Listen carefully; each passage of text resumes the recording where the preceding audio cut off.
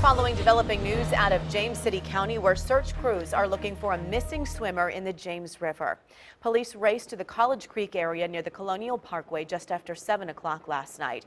They say 23-year-old Tony Garcia from Chesterfield was swimming with friends. Witnesses say at one point Garcia went under the water and didn't come back up.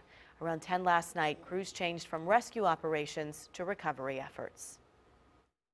Lot of people come down here to swim, but there is a very large sign at the entrance to the beachway that says uh, danger, unsafe currents, uh, not safe for swimming.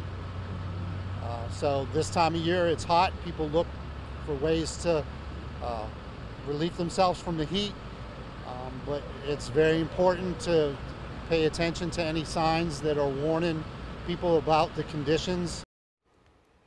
Crews resumed the search this morning. Our Brandy Cummings is on her way to James City County right now. Look for a full report from her on Wavy News 10 at 4.